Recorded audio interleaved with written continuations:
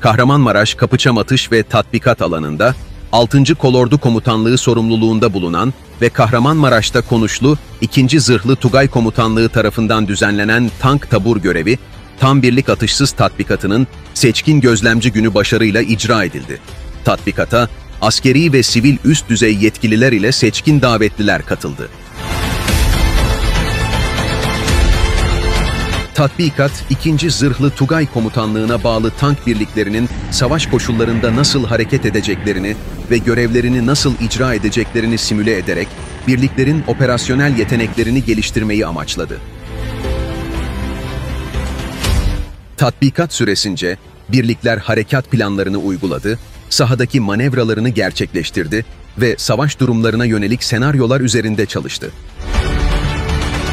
Seçkin Gözlemci Günü kapsamında tatbikata katılan birlikler ve ekipmanlar yakından incelendi.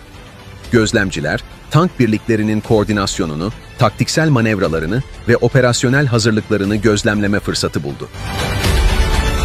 Ayrıca tatbikatın başarıyla tamamlanması için gösterilen yoğun çaba ve disiplin de takdirle karşılandı.